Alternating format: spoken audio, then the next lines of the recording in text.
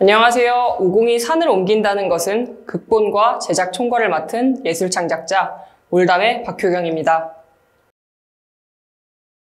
우공이 산을 옮긴다는 것은 제목에서 알 수 있다시피 우직하게 노력하는 사람이 결국 뜻을 이룬다는 고사성어 우공이 산에서 가져온 것인데요. 간단하게 줄거리를 설명해 드리자면 우공이라는 90 노인 집 앞을 산봉우리가 막고 있어 다니기 불편하니 우공이 흙을 직접 날라 산을 옮기겠다고 합니다. 주변 사람들이 어리석다며 만류하지만 우공이 말하기를 내가 아니면 내 아들이, 내 손주가 결국 옮길 거라고 합니다. 그 정성에 결국 신이 옮겨준다는 내용입니다. 극은 우공의 뜻을 정말 아들과 손자가 따르고 싶었을까? 아들과 손자의 생각은 어땠을까? 질문에서 시작되었습니다. 고사성어 오공이산 속에서는 결국 신이 옮겨주는 결말로 끝나지만 그 산을 옮긴다는 것은 안 될지도 모르는 불확실한 일에 본인이 가지고 있던 방향이나 하고 싶은 일들을 포기해야 된다는 얘기거든요. 주변 사람들 얘기를 들어보면 집집마다 이런 사연들이 하나씩은 있더라고요. 그런 가장 가까운 시대상을 더 가까운 사사로운 얘기들을 극을 통해 해보고 싶었고 극 속에서 사람들의 이야기를 직접 들어보고 싶었습니다. 지금 제가 올담을 대표해서 나와 있는데요. 올담은 영어 올해 한자 말씀담으로 사람들의 이야기를 담습니다. 올담이 추구하는 예술의 방향입니다. 제가 게임을 즐겨 하는데요. 게임을 하다 보면 그 안에서 친구들과 디스코드로 얘기를 하게 되거든요. 얼굴이 안 보이고 그 캐릭터를 한다는 이유로 저도 그 캐릭터를 따라하고 있더라고요. 분명 실제 만나는 친구인데도 만나서도 잘 안 하는 삶의 많은 얘기들을 게임을 하면서는 나눕니다. 이걸로 그걸 충분히 만들 수 있겠다. 오히려 내가 아닌 내 모습에서 관객과의 소통이 더 자유로울 수 있겠다는 확신을 가졌습니다. 극은 관객들이 최대한 가깝게 느낄 수 있게 제작하려고 노력했습니다. VR, 메타버스, 기술, 이런 단어들이 들어가면 진입장벽이 높게 느껴지기 마련인데 그냥 게임 접속하듯 책을 읽듯 극 참여의 허들이 낮았으면 좋겠다. 대단하고 특별한 것이 아니었으면 좋겠다.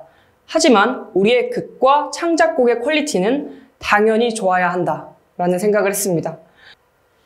그래서 map의 reference로는 게임 map인 소환사의 협곡을 가져갔었고 전수지 대표님의 추천으로 2D 종이 인형 캐릭터가 주인공이 되었을 때는 예전에 종이에 그려서 하던 인형놀이가 생각이 나서 정말 좋았습니다. 종이 인형이 부채를 펄럭일 때마다 VR로 참여한 동화, 동화 판 소리 같았어요. 대부분 대면 공연은 관객의 위치와 공연자의 위치가 정해져 있습니다. 관객이 할 수 있는 상호작용은 박수라든지 호응 정도가 전부일 때가 많은데요. 하지만 VR 공연, 특히 이머시브 시어터의 형태를 추구하던 이번 공연에서는 우공의 손주와 따라 걷고 같이 돌을 나르는 등 관객이 참여해주지 않으면 극의 진행이 달라질 수밖에 없었습니다. 관객이 극을 같이 만들어간다는 것이 최고의 장점이라고 생각합니다. 안녕하세요. 저는 제페톤즈 대표 이광영이라고 합니다. 어, 제페톤즈는 메타버스 플랫폼 내에 공간을 제작하고 있는 가상 건축 사무소입니다. 어, 주된 활동은 국내 메타버스 플랫폼으로 가장 유명한 제페토와 5024안을 진행했었던 VR챗을 기반으로 활동을 하고 있습니다. 어, 5024안의 월드 제작과 또 5023 월드에 들어가는 기능 요소들을 개발하는 데 담당을 하였습니다. 그게 몰입도를 높이는 월드를 제작하고 싶었습니다. 5024는 스토리가 정말 중요했고요. 또 동시에 그게 몰입도를 높이는 것이 가장 중요했습니다. 뭐 예를 들면 502 손자의 집에서부터 502 손자가 공연을 진행하는 곳까지 이동하는 경로가 있는데요. 그 이동 경로에 있어서 502의 손자를 잘 따라가야 했고 이탈자가 없이 잘 진행됐어야 했었습니다. 그런데 만약에 그 길목에 어떤 기능적인 요소들이 많다거나 혹은 화려한 디자인을 통해서 사람들이 그게 몰입도가 깨진다거나 혹은 시선이 분산돼서 그게 몰입하지 못한다면 우공이산을 제작한 의미가 없었다라고 생각이 듭니다. 그래서 저는 가장 첫 번째로 그게 몰입할 수 있는 또 그게 흐름을 깨지 않는 월드를 제작하는 게 저의 첫 번째 목표였습니다. 어, VR 챗 유저들, 유저분들이라면 이 부분에 대해서 좀 많이 공감을 하실 거라고 생각이 듭니다. 어, 아직 VR 챗 이용자들은 HMD 기기와 PC를 연결을 해서 많이 사용하고 있습니다. 그런데 이 HMD 단독 기기 이용자들이 많아져야 저는 메타버스에 대한 진입 장벽이 낮아질 수 있을 거라고 생각이 듭니다. 그래서 어, HMD 단독 기기 이용자들 또 플러스 PC 단독 기기 이용자들이 이 월드를 즐길 수 있는 환경을 구축하는 것이 저희의 목표였습니다. 안녕하세요. 저는 제페톤즈 대표이자 우공이산 프로젝트의 총괄 진행을 맡은 전수지입니다. 우공이산이 VR 공연으로 제작하기까지 시나리오 작업을 시작으로 가상 공연장 기획이 이루어졌습니다. 이후 공연에 담길 우공이산 ASMR 녹음이 진행되었고 이와 동시에 Unity로 world 제작이 이루어졌습니다. 실제 world 제작 기간은 약 한 달 정도가 소요되었고 공연의 주인공 두 인물 우공의 아들과 손주를 일러스트로 작업하여 디자인을 하였고 이후 두 주인공을 종이 인형 3D 아바타로 제작하였습니다. 공연을 위한 요소들이 완료된 후 모션 감독 및 배우, 소리꾼들과 함께 VR 리허설 과정을 거쳤습니다. 본 공연에 관람객들은 각자의 공간에서 공연을 즐기고 연출진들은 고정 로케이션에서 공연 송출을 실시간으로 실시하였습니다. 어, 저희는 이번 5023 프로젝트를 시작으로 느낀 점은 가상 공간을 활용하면 스토리의 몰입도를 더욱더 극대화시킬 수 있다는 점이었습니다. 아, 앞으로 그래서 제페톤즈는 가상 공간을 배경으로 새로운 시도를 하고자 하는 분들과 많은 협업을 시도해보고 싶습니다. 이 극을 관람한다고 생각하지 마시고 플레이한다고 생각해 주셨으면 좋겠습니다. 놀이의 플레이, 또 역할의 롤플레이예요. 같이 산을 옮겨주세요. 감사합니다. 오늘 VR체에서 진행되는 메타버스 소리극 우공이 산을 옮긴다는 것을 보고 느끼러 와주신 여러분 진심으로 감사드립니다. 자 여러분 그러면 지금부터 시작해 볼까요?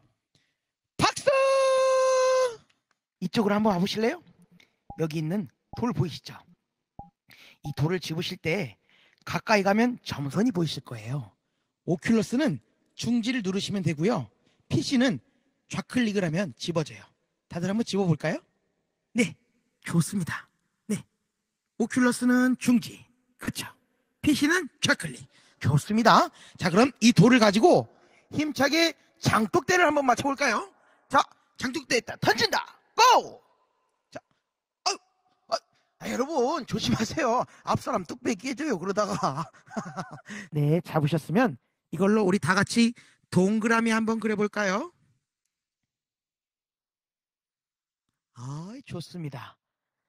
그럼 다음은 우리 여기 있는 모두가 오늘 처음 만났으니까 반갑다는 인사로 하트 한 번씩 그려줄까요? 이야, 여기 있는 분들은 다 화가들만 오셨네. 자, 그러면 여러분들 실력을 봤으니 잘생긴 제 얼굴도 한번 부탁드립니다. 30초 드릴게요. 시작!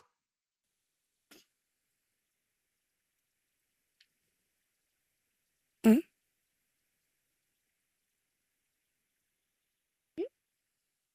그걸 한번 시작해 볼까요? 우리 멋진 공간에서 다 같이 한번 놀아봐요. 자, 다들 준비되셨죠? 뮤직 큐! 옛날 옛적 우공이라는 구신 노인이 집 앞에 보이는 커다란 두 봉우리의 산을 옮기겠다 하니 주변 사람들이 우공을 만류하며 말하기를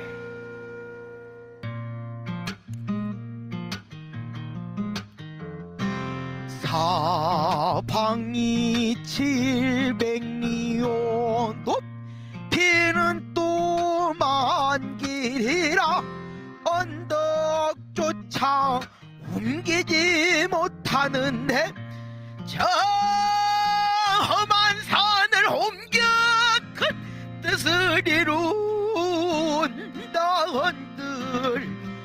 그 누가 알아주리오? 욕심이 그저 주어진 삶을 편안하게 살아가시오. 사람들 말에 우공노인 말하기를 허참 내가 내 산을 옮기겠다고 하는데 뭐 그리 말들이 많은가? 이 산을 평평하게 만들면 사람들이 다닐 수 있는 길목이 될 것이고 서울까지 길이 턱 하고 트여 출세길도 될 것이네 아 그뿐인가? 곡식 또한 무럭무럭 잘 자라. 대대손손 우리 자손들은 물론이요. 마을 사람들까지 모두가 잘 먹고 잘 살게 될 것이네. 내가 옮기지 못하면 내 아들이 내 아들의 아들이 아들의 아들의 아들이 또 옮길 터이니 걱정들 말게나. 산은 날마다 깎여나가 더 높아지지는 않을 것이니 언젠간 길이 날 것이네. 빨날 호장 쓰니 와갖고 흐린 날 빨래 누느니 와갖구나 우공의 어리석음을 어찌하나. 불쌍한 아들과 손주를 어찌하나. 구심학은 뜻에 오늘도 아들과 손주는 산으로 향하는구나. 이렇듯 후궁의 아들은 낮이면 농사일을 하고 밤에는 산을 깎고 후궁은 손주는 낮에는 서당고 주말이면 산을 옮기러 향했다더라. 네, 여러분 가시죠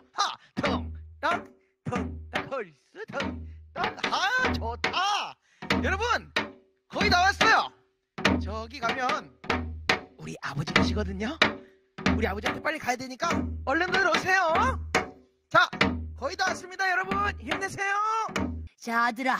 아버지 어, 오늘은 어찌어여 이렇게 늦었느냐? 아 서당 숙제도 하고 여기 일꾼들도 모시고 오느라 좀 늦었습니다 아차차차, 수고했다. 반갑습니다. 어, 여기 돌무더기가 있는데, 오늘은 이 돌무더기들을 저기 웅덩이에다가 다 옮기셔야 합니다. 그럼 잘 부탁드리겠습니다. 네, 그럼 다들 시작해 볼까요? 여기 있는 웅덩이에 딱 옮겨주시면 됩니다. 그렇죠. 아우, 너무 잘해주고 계십니다, 여러분. 여러분이 계셔서 오늘 저는 휴가 같은 느낌이에요. 여러분, 좀만 힘내주세요. 좋습니다. 아우, 여기 있는 분들 현실 세계였다면 시급 15,000원씩 드렸어야 됐을 텐데. 이 거대한 산을 옮기려면 아직 갈 길이 멀다. 아니, 평생 옮긴들 도대체 이 거대한 산을 옮길 수나 있어요? 아, 지도요. 주말이면 아버지랑 어머니랑 같이 계곡에도 놀러 가고 싶고요. 친구들이랑도 놀고 싶고. 우직하게 옮겨야지. 우직하게 노력하는 사람이 결국 뜻을 이루는 법이다. 아휴, 아버지, 요즘은 좀 요령껏, 요령껏 하는 것도 중요한데. 할아버지 뜻이다. 우리가 잘 살고 있는 것이 다 할아버지 덕이 아니더냐. 아, 이게 도대체 가능한 일이긴 해요? 아, 할아버지께는 감사하지만 아, 저는 지금의 제 삶을 살고 싶다고요. 세상 사람들이 말하길 우라버지 눈뜬 장님이라 하더이다. 나도 세상 돌아가는 일을 보니 우라버지 눈뜬 장님 맞더이다. 한 번 지난 시간은 돌아오지 않는 법인데 그 뜻을 이룬다 흔들 대대손손 산을 옮긴 다 흔들 도대체 어떤 것이 달라진답니까? 산은 옮기지 않아도 사는데 문제가 없다만 사람이 사는데 사람이 필요하네. 식구들이 매일같이 아버지 곁을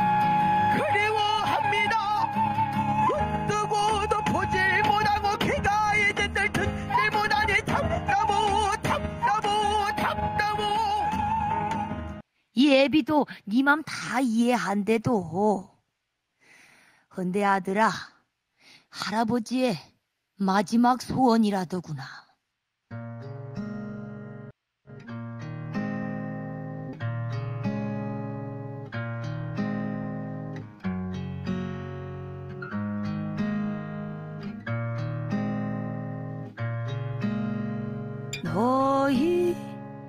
할아버지 나를 업고 이 산을 넘으실 적에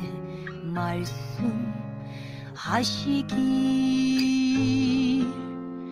할아버지의 아버지도 할아버지를 업고 이 산을 넘었다 하셨네. 너희 할아버지 아픈 부모를 업고 이 산을 넘으실 적에 병을 넘지 못하고 끝끝내 먼 길 갔다고 하셨네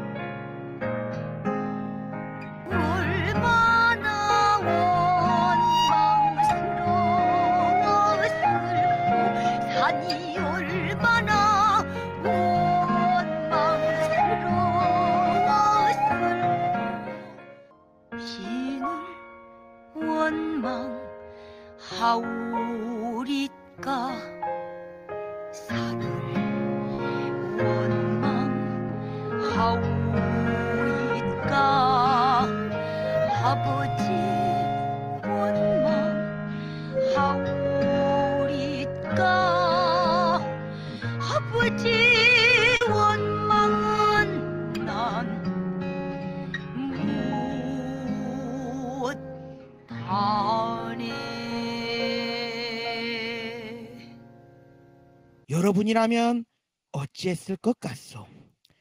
우공의 아들을 따라서 산을 날랐을 것이오. 아님 손주처럼 지금의 본인의 삶을 원할 것이오. 아, 저는 아버지 말씀을 공의 아들의 말을 따를 것 같습니다. 어호 계절 하나쯤 지나기도 전에 우공의 병은 점점 더 깊어졌고 결국 우공은 그 병을 이기지 못하고 아들과 손주가 산을 넘기기도 전에 세상을 넘어 저 멀리 떠나게 되었겠다.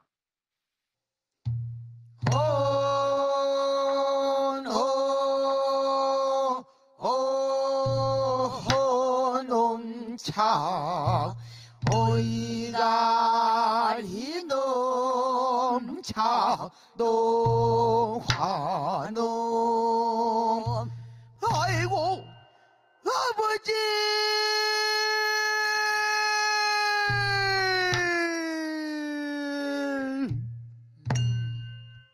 날 버리고 어디 갔소? 그 어떤 일도 행하지 않으면 그 어떤 일도 일어나지 않는다. 아무런 수고 없이는 아무런 일도 일어나지 않는다는 걸 너희에게 꼭 알려주고 싶었단다. 이 애비는 먼저 떠나니 천천히들 지금을 살다 오시게.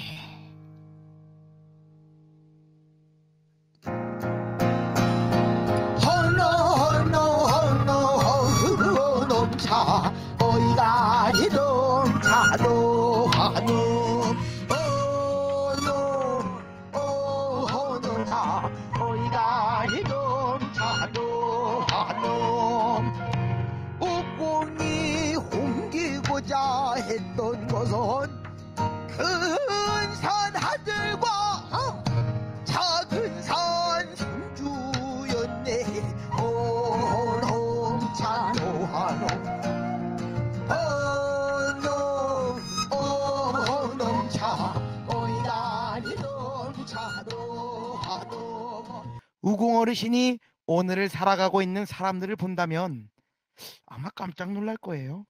아, 세상이 바뀌어 산길이 아닌 아스팔트가 깔려 있고 더 이상 산을 옮기지 않아도 이제는 터널을 만들어 산과 사람이 함께 살아갈 수 있지 않소?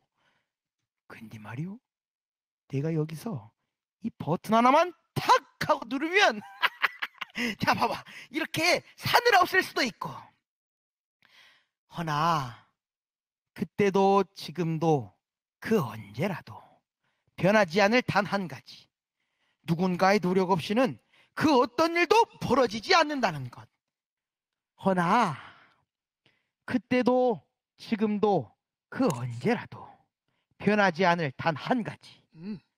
누군가의 노력 없이는 그 어떤 일도 벌어지지 않는다는 것. 그리고 이렇게 재미난 이야기를 이곳 메타버스에서 함께 나눌 수 있는 것도 오늘 함께 해주신 여러분들이 있기에 가능한 거 아니겠습니까? 음. 감사합니다. 참으로 감사한 세상입니다. 자, 그럼 이만 나는 또 다른 곳에서 또 다른 흙한 줌을 옮기러 가봐야겠소. 모두들 건강히 잘 지내다가 또 만납시다. 만나서 반가웠어. 안녕. 안녕. 조심히들 가시오.